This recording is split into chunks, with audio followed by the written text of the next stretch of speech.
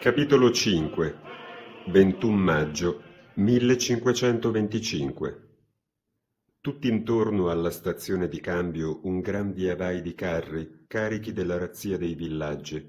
Capitani strillano ordini in dialetti diversi, drappelli di soldati partono in ogni direzione, baratti e compravendite di bottino in mezzo alla strada, tra mercenari più sporchi di me e vagabondi ad aspettare gli avanzi. L'altra faccia della devastazione incontrata lungo la strada, retrovie di una guerra senza fronti, la fossa di scolo per il grasso del massacro. Il cavallo ha bisogno di riposo, io di un pasto decente, ma soprattutto devo orientarmi, trovare la strada più breve per Norimberga e poi Bibra. Non è conveniente lasciare incustodito un cavallo di questi tempi, soldato. Una voce sulla destra, oltre una colonna di fanti che riprende la marcia, robusto, grembiule di cuoio e alti stivali coperti di merda. Il tempo che entri nella locanda e te lo servono per cena. Nella stalla sarà più sicuro. Quanto? Due scudi. Troppo caro. La carcassa del tuo cavallo varrà di meno. Il mercenario pagato e congedato che torna a casa. D'accordo, ma devi dargli fieno e acqua. Fallo entrare qui. Sorride, strade piene, affari d'oro. Vieni da Fulda. Il soldato che torna dalla guerra. No, Frankenhausen. Sei il primo che passa. Di un po' com'è stata. Una gran battaglia. La paga più facile della mia carriera. Lo stalliere si gira e urla. Ehi, Gross, c'è uno che viene da Frankenhausen. In quattro escono dall'ombra facce ruvide di mercenari. Gross ha una cicatrice che solca la guancia sinistra e scende sul collo la mascella incrinata dove la lama ha inciso l'osso. Occhi grigi, inespressivi, di chi ha visto molte battaglie, abituati al tanfo dei cadaveri.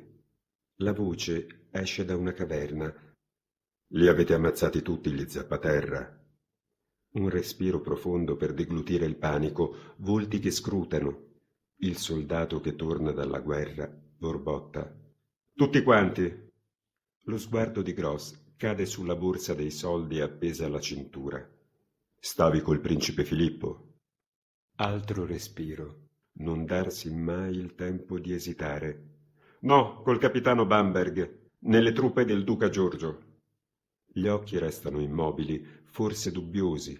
La borsa. Abbiamo provato a raggiungere Filippo per unirci ai suoi, ma siamo arrivati a Fulda troppo tardi. Erano già ripartiti, correva come un pazzo quel rottinculo, si è fatto Smalcalda, Eisenach e Salza a marce forzate, neanche il tempo di fermarsi a pisciare. Un altro. Ci sono toccate le briciole, qualche saccheggio in giro, sicuro che non c'è più nessun contadino da ammazzare. Gli occhi del soldato che ha sterminato i contadini nella piana, vetro, come quelli di Gross. No, tutti morti. Faccia storta, continua a fissare, riflette sull'affare del momento, quanto è rischioso prendersi la borsa. Sono quattro contro uno, gli altri tre, senza un suo gesto, non si muovono. Parla lento. Mühlhausen. I principi vanno ad assediarla. Lì sì che c'è da fare un gran bottino. Case di mercanti, non di zappaterra pezzenti, banchi, botteghe. Femmine! aggiunge ghignando quello più basso alle sue spalle. Ma Gross, l'orco, non ride, nemmeno io, gola secca e fiato che non esce. Valuta. La mia mano sull'impugnatura della spada appesa alla cintura insieme alla borsa dei soldi. Ha capito L'unico colpo sarebbe per lui. Gli squarcerei la gola. Posso farlo. Sta scritto nello sguardo piantato sulla sua faccia. Un fremito appena, come verdetto un battito di ciglia. Non vale la pena rischiare. Buona fortuna. Passano oltre, muti, il rumore degli stivali che affondano nel fango.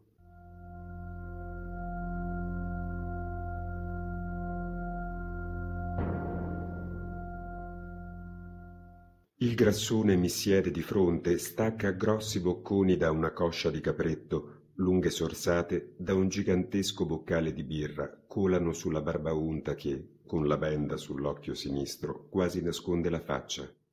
La giubba consunta e lercia copre a stento i troppi barili di decenni al soldo di tutti i signori. Durante una pausa il maiale mi interroga. Cosa ci fa un signorino come te in questo letamaio? Bocca piena che cola, ci passa sopra la mano e poi rutta. Senza guardarlo. Il cavallo deve riposare, io mangiare. No, signorino, cosa ci fai in questo buco di culo di guerra bastarda? Difendo i principi dai rivoltosi. Non mi dà il tempo di continuare. Ah ah, buona, buona, da quattro pidocchiosi. Mastica. Da una marmaglia di cenciosi. Deglutisce. Che tempi, i ragazzini che difendono i signori dalla plebaglia contadina. Rutta di nuovo. Te lo dico io, signorino, questa è stata la più merdosa di tutte le guerre merdose che sto unico occhio buono ha visto. Soldi, compare, solo soldi e gli affari con quei porci di Roma, i vescovi con tutte quelle baldracche e figli da mantenere. Grana, te lo dico io, che i principi, i duchi, quei fottuti, non pensano ad altro. Prima gli tolgono tutto ai bifolchi e poi ci mandano noi a bastonare quelli che si incazzano. Forse sono troppo vecchio per queste stronzate rotte in culo, ma a sto giro c'erano da voltare i cannoni contro i principi e il leccamerda del Papa.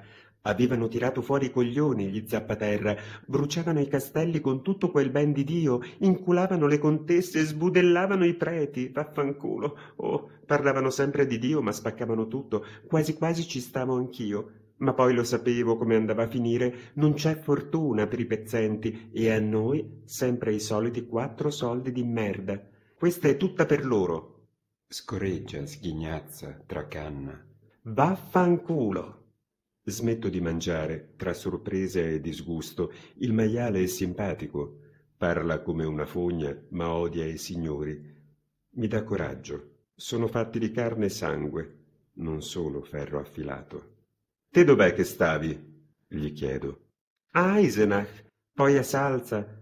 Poi ero stufo di spaccarmi le braccia sulle schiene dei poveracci. Un vero schifo, sono troppo vecchio per queste stronzate. Ho quarant'anni, cazzo, e vent'anni di questa merda. E te, signorino? Venticinque. No, no, dov'eri? Frankenhausen. Puttana! In mezzo al giudizio universale, le voci corrono. Non avevo mai sentito una roba così. Proprio così, compare.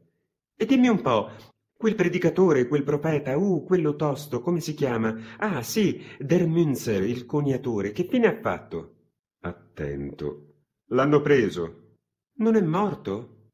No, ho visto che lo portavano via. Uno del drappello che lo ha catturato mi ha detto che ha lottato come un leone, che è stato difficile. I soldati erano intimoriti dal suo sguardo e dalle sue parole. Mentre lo portavano via sul carro, ancora lo sentivo urlare Omnia sunt communia. E che cazzo vuol dire? Tutto è di tutti. Merda, un bel tipo. E te sai il latino? Sogghigna. Abbasso lo sguardo.